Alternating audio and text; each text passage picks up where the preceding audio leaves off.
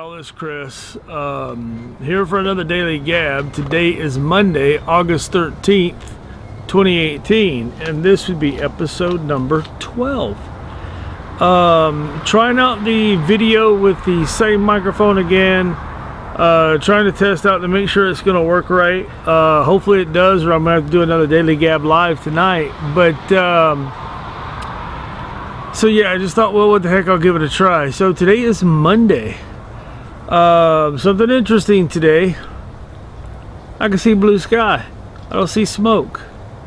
Uh, we do have a little bit of a breeze, which I'm sure is helping to move that smoke around and keep it out of here. But um, but it's kind of cool. We actually have blue sky, which is a little odd considering the past couple weeks has been nothing but you know smoky skies. Um, so you know, I, I I talked to you. I did a quick gab yesterday, and um, and it was really quick. And I apologize, it's because I screwed up. Uh, well, my equipment screwed up, but I screwed up by not making sure the equipment was working correctly. So I'll take the blame. Um, and then I did a live, and I did that live for I don't know. We were there for about an hour or so, and uh, had somebody come on and tell me not to get so worked up over something I was talking about and it's not that I get worked up. I get animated, I guess is what we'll call it. I I, I, I kind of take this stuff to heart, I guess. And so, um, but I'm going to talk about that subject today and that subject, and it's only because of something that happened this morning. And with school starting tomorrow, it made it a little bit more of an, an interesting deal for me. And it's pedestrians and what their rights are. So today we're going to do Civics 101, I guess. We will call it that. Or how to legally and properly cross the street. How about that? I don't know. Um, so here's basically it. People in general do not know the vehicle code for pedestrians. And not that I expect everyone to go out and grab a copy of the vehicle code and start reading it, but it wouldn't hurt to know it, to at least know a little bit. Um, so, I mean, there's things you have to think about as a pedestrian. Okay, you've got, well, sidewalks, and then you've got roads without sidewalks, and then you've got crossings, marked crosswalks and unmarked crosswalks. Okay, so when it comes to just general walking down the street, obviously, if you're on a sidewalk, you're probably in pretty good shape. Um, if you're walking down a road like my road for instance that doesn't have a sidewalk well what I do is I walk between the edge of the pavement and the fog line. That's what the white line is called. It's called a fog line. And it's there and painted the way it's painted so that during foggy conditions rainy conditions your headlights will still hit it or during the day it's still bright enough that you would notice the markings so that you wouldn't go off the road right so I walk in between that and what they call the EP or edge of pavement. Um, now, when I get to a case where I don't have that choice, then I walk right on the edge of the road. But then if I see a car coming at me, then I get off the road and kind of walk through the gravel or whatever, or dirt, whatever's there. Now, here's the one thing about walking you should walk against traffic. Um, now, some people say, no, you walk with traffic. No, I think you should always walk against traffic. Now, I'm not sure what the quote unquote rule is on that, but I say walk against traffic. I've had occasions where I've almost been hit because I was walking with traffic on the side of the road with no sidewalk between the fog line and the EP and almost got hit. So I say walk against traffic. That way you have a better chance of seeing what's coming at you. Now, when you get to crosswalks, crosswalks are interesting.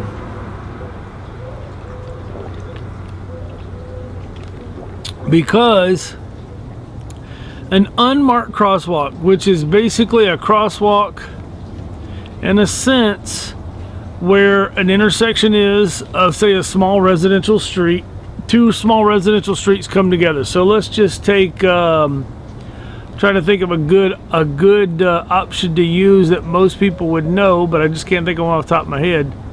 But you come to you know what's kind of the main road through a subdivision, and then one of the little side streets, and you're crossing the side street. So you're walking parallel with the main road. You're going to cross the side street, or you're walking. I'm going to cross the main road, whichever the case. But there's no crosswalks marked. So what do you do in that case? Well, you legally can cross But what you need to make sure is is that when you get to that intersection, you don't just walk off under the intersection or running across it or whatever without looking. Stop. Make sure it's safe to cross and then just cross. Just take a straight line, typically from where they've got the low spot in the sidewalk, that's the ADA stuff, or they've got like the truncated domes, which is the yellow squares all the little bumps in it and you walk from you know they sometimes they have them little cut with grooves there's all kinds of ways then you just cross across there and you're fine. Now let's say you're at a marked crosswalk. So you've got the two yellow lines that mark crosswalk. Maybe it's got the big bold lines across the center. Same thing. Now most marked crosswalks will have a crosswalk signal. Okay so it's basically like your red light green light. Okay just like a car has a red light green light yellow light right? It's yours your signal. And in a sense i guess you could say they have a red yellow and green so here's how those work. And if you look at the signage it's at most crosswalks, like the new ones they put in at Franklin in 99, Bridge in 99, Lincoln in 99, then you'll see what I'm talking about. So you walk up, there's a button, you push the button. Now they've got the buttons that talk. They say wait.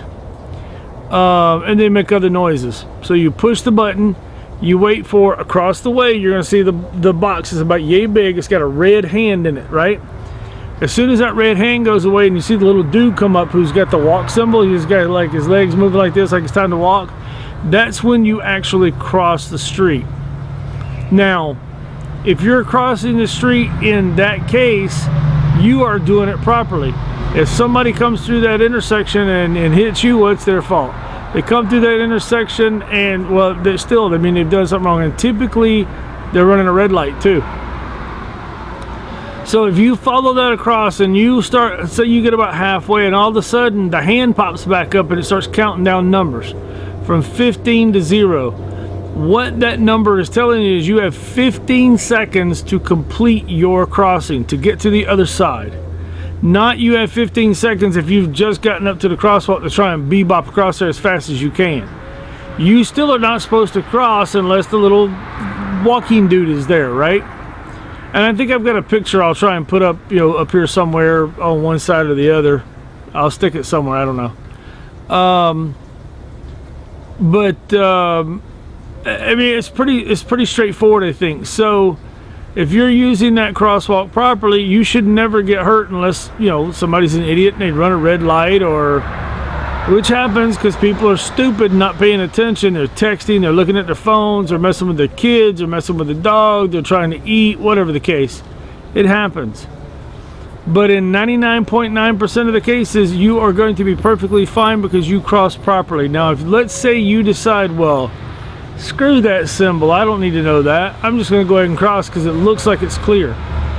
Okay let's say it looks clear but let's say there's cars in a turn lane and you can't see past those cars in that turn lane and there's a car sitting there. That maybe they're over on the side of the road and they just pull away as you start to cross, you can't see them and all of a sudden they're they're booking it because they, they're running behind. And they don't see you and they hit you. Guess what? It's not their fault, it's your fault.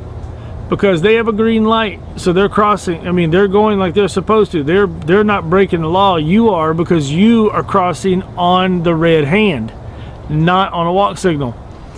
I, I mean, I don't understand why you know parents are not teaching their kids this stuff. I want to know why we're not teaching it to kindergartners, then we're teaching it to third graders, and then maybe sixth graders. And to be honest with you, you probably need to teach it in high school too, because these kids are not much smarter than a kindergartner in some cases. There should be classes in school or something that teaches this kind of stuff. I'd love to see the police department put a program together in conjunction with like the CHP and Caltrans to come into schools and teach this program. And if they need somebody to help, I volunteer. I will help do it. I don't mind. Um, you know, and I think this is an even bigger deal to me because school's starting tomorrow. And so you're going to have more and more kids out walking. Uh, the weather's still nice enough in the mornings and the afternoons that they can walk. Uh, and some parents can't take time off to take them back and forth to school, so you have to keep that in mind. And sometimes a bus is not available. So I think it's an important thing for people to realize. Um, now, yesterday, or well, this morning, we're out driving. This guy just barrels off across in front of us, right? And he's in the middle of the inter- he's in the middle of the road. It's, there's no crosswalk. Well, I mean, not where he was crossing. If we would have hit him, that would have been his fault. He does not have the right of way in that case. Just because I can see him and could probably stop does not mean he has the right of way and I have to stop. It means I have the right of way on that road, not him. Um, now, the other thing that gets me is the people who will just say, oh, the heck with it, I'm just going to go ahead and cross. And they'll cross in the middle of the street because they're too lazy to walk another 50 feet to go to the crosswalk and do it properly. I mean, I, I, walk a lot and I have many opportunities where I can just cross wherever I feel like, but I try to use a crosswalk every time. Now, I'll admit it, I've had cases where I haven't used a crosswalk because it just happened to work out. And I can see that there's no traffic coming at me from either direction. It's clear, it's safe for me to cross, and I'll just run across real quick. Well, not run, but you know what I mean. But, you know, and in most cases, if you're standing there waiting to cross, at a marked or unmarked crosswalk, most drivers will stop so that that way they can hold the traffics behind them and then uh, and as they see as people coming in the opposite direction see it sometimes they'll stop too they start to see you walking across. Because the other car stopped they will stop for you. If people are courteous enough to stop that's fine me personally, I don't do that. If people look like they're going to slow down and stop, I'm saying, oh no, please go ahead. Just let them go until it's clear so I can cross because if I'm crossing and something happens, it can still be my fault and I don't want to take that chance. And I can still get hurt or killed. Don't want to take that chance either. So, you know, it's one of those things where, yes, I think last night probably in my live, maybe I got a little worked up about some of this stuff, but it's just that, you know, I guess I'm just one of those people. It's like, look, you know, you, you, do you do things right. I mean, if, if the law states you're not supposed to cross the middle of the street, then don't cross the middle of the damn street. Use a crosswalk. It's pretty simple. Um, you know, to me, it doesn't matter what the law is. You break a law, you break a law. It doesn't matter how minuscule the law is. It's just like jaywalking. That's a very small, minuscule law. But you know, people people break that law every day, and unfortunately, we don't have enough officers on the street with enough time to hit all those people and say, hey, you know, I mean, I think, uh, you know, like if kids get caught riding without a helmet or something like that on a bicycle or a skateboard, they have to go to they have to go to court. Uh, my kid got caught one time when he was younger. We had to go to sit in front of a judge. Uh, we had to have an officer tell us all the stuff, you know, and go over everything as to why they can't ride without a helmet. And we had to be there with them and that was in lieu of paying the fine. You know, you had to do this kind of like a like like traffic or like uh, you know, like if you get a speeding ticket for the 14th time, you have to go to traffic school or whatever. Um, and it was really good. I mean, the kids were a little nervous. You could tell kids were scared, and uh, because they didn't know what was going to happen, they thought they might be arrested. Which, okay, if you got to put a little fear in a kid because of that, put a little fear in them. If it saves their life, who cares? Um, and I think that's something that should happen now with pedestrians and bicyclists. I don't care if you're an adult or if you're a child. If you do something stupid, you should get busted and you should go to traffic court. And you got two options go through this thing with a judge and an officer and learn from it, or pay the fine. And if you ain't got the money to pay the fine, then fine. You do 30 days in jail. Do do 30 days sitting in county lockup. You won't like it. So maybe you'll think twice. I think that should happen with jaywalkers. A cop sees somebody jaywalking, stop, give them a damn ticket, send them to court. Otherwise, let them pay the fine and let them go to jail. Because the only way we're going to get people to understand is to, it's kind of like with Yuba City High School. A couple of years ago, it's been more than a couple, but a few years ago, two motorcycle officers would sit in the parking lot right next to the baseball field they would come out and write tickets to these kids who were using the crosswalk improperly. They were crossing when they weren't supposed to, uh, crossing against the, you know, when they shouldn't be crossing because it's a green light in the, the lane that they're crossing and all kinds of stuff because they thought, well, well, we're okay, we can do what we want. Well, the stop, cops started giving them tickets and they started getting fines and the parents were just bent out of shape, boy the parents were raising hell the administrators were a little upset the district was a little upset and it's like you know what? Screw all of you who cares?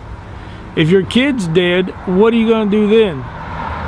So i had some parents and kids talking to me one day about it and they were all upset and i'm like well you guys are stupid. And they're like what? I'm like you as the parent are stupid and so is your child because you don't know how to properly cross the street without you know taking a chance of getting yourself killed or getting a ticket. I said, so you deserve your ticket, and for your stupid, you should have got a second ticket for stupidity. And I had a couple parents who were ready to take me out back and kick my butt for it because I was calling them and their kids stupid. But hey, you know what? I you know you call a spade a spade. It's a simple. Um. So you know it's one of those things where look, you know, and nowadays with the way the world is, is everybody's like, oh well, little Johnny didn't know. Ignorance of the law does not mean you get to break the law. Okay. Well, little Johnny didn't know. Well, maybe little Johnny's mom and dad are stupid and didn't teach him properly. When my kids were little, I took them to an intersection and walked through the process with them of how to cross the street properly so they didn't get killed. Because I never know. I mean, it's like, you know, one summer afternoon, my kid goes, Hey, Dad, I'm going to go here. What, he's going to go to a friend's house down the street. Well, you may have to cross a couple of intersections. Would I rather he cross those intersections and just take his chances or know how to cross those intersections properly and then, you know, and that way he grows up to be who he is today? So I mean, people get a, get a, could get upset with me about it if they want because I'm telling them they're stupid. I don't really care, uh, but it is something that needs to be handled. Um, and I think the next one we'll probably talk about will be bicyclists, because bicyclists don't have the right of way all the time either. Matter of fact, bicyclists in this community are pretty stupid. They don't know the law. And I'll give you a quick little hint. If you're on a bicycle, you ride with traffic, not against it and you are required by law to stop at all stop signs, red lights, everything. You don't get to just blow through them because you're on a bicycle. You don't get to just whip around the corner because you're on a bicycle. You're supposed to stop and then turn right. It's you know you're I mean obviously cars do California stops all the time, but um, you know I mean it but and I guess when it comes to being a pedestrian, I I am a firm believer in 3,500 pound car always has the right of way. Because if a 3,500 pound car hits me, that 3,500 pound car will survive. And so will the people in the car probably. I may not. So that's just something to keep in mind is, you know, really it's it's one of those things of, you know, protect yourselves, protect your kids. Um, you know, and uh, and hopefully everybody will have a good day and everybody will get home and they'll be home from school or whatever the case. So just don't be stupid. Protect yourself and make sure you pay attention to what the hell you're doing. So that's one of the things I got pretty fired up about last night. I also got fired up about, um, or animated as I like to call it, about local government. Um, one of the things that I think we really need to see is a change in how local government is run. Uh, I'm going to take the city as a for instance right now. We've got three city council positions coming up, right? When those three people get in place, what I'd like to see them do is go and grab every single at-will position in the city, bring all those people to the to the city council chambers, and ask them the first question: What have you done for the people lately? Which they should be able to say nothing because if they say anything else, they're probably lying to you and then tell every one of those people, well, thank you for your service.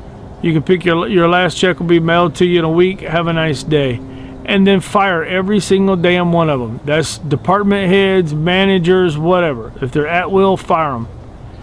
And then go get people that actually do give a damn about this community and not their own paycheck and not their retirement, not their benefits, and taking eight hours to do a one hour job and all that kind of stuff. Find people in there who give a damn and want to do what's right for the people, which in turn will be right for them as well. And uh, I mean, I know it's never going to happen. I know the city council would never do anything like that because, to be honest with you, I don't think any of them would have the balls to do it. Um, you know, I think the same thing needs to be done at the county level as well. And then some reevaluation needs to be done by the city based on how they handled the recology pro uh, process they went to staff, which is basically okay. So, in a hierarchy of local government, you've got like city council, and then you'll have like city manager, then you'll have the department heads over the various departments, and then the managers are under that. So, in other words, way too many people who make too wait, make way too damn much money. And then under that, you'll have staff. Now, here's the thing with staff. If you have a department that could that would typically have a staff of say 20 they're going to hire 40. Because if they hire 20, then 20 of them will have to actually work. If they hire 40, then they can milk those jobs a little bit more and make them take eight hours, right? So that is a problem. And I only say this because I worked in local government and I watched it myself. I am not that kind of person. If somebody came to me and said, hey, I need this done by tomorrow morning, it's going to be done by the afternoon before the end of the day because I'm not a procrastinator. I want to get it done because my job is to do what I can to help those people who are residents. And if that means getting a job done that's just an internal deal, then that's my job, right? So we've got way too many people in government who like to take eight hours, do a one hour job because of the typical government workers. They like to milk it because all they're there for is to get paid, get benefits, and get a retirement. That's all they care about. They're not there to do anything. They don't give a damn about you, me, or anybody else in this community. Not not all of them are that way, but we do have some. And those people need to be weeded out and gotten rid of. I don't give a damn about the unions. They need to be weeded out and gotten rid of. Um, and, and you know, the other thing too is when you look at like department heads and managers and all that kind of, those people don't do anything. They just sit on their ass, yell at people, and take all the credit for everything that staff does. So then you look at this thing with Recology and the city council. They went out to staff. Staff made a recommendation of, hey, we should just stick with Recology. That wasn't good enough for our city council. So what did they do? They went out and hired a con, uh, consultant to tell them the exact same damn thing. They went out and spent about $160,000 to do the exact same thing. So it's $160,000 of taxpayer money that could be used for something else and something more important than to go out and let a consultant tell you the same thing that your staff just told you. So something I think needs to happen is a choice needs to be made. You can have column A or column B. Column A is, is you keep staff on, which in the long run will cost you a lot more money. Or in column B, you can use consultants. You can't have both. There is no mixing. You have one or the other. So if you typically would have a staff of 10, let's cut your staff down to about three and then let consultants do all the work. Now here's the advantage to consultants. You pay them to do a job, probably too much, but you pay them to do a job and then you're done. You don't worry about benefits. You don't worry about retirement. You don't worry about any of those after things. None of that junk. Or unions or anything like that. Um, but you end up paying them more typically because, well, you pay them a lot more for the initial job because they're going to overcharge you. That's what consultants do.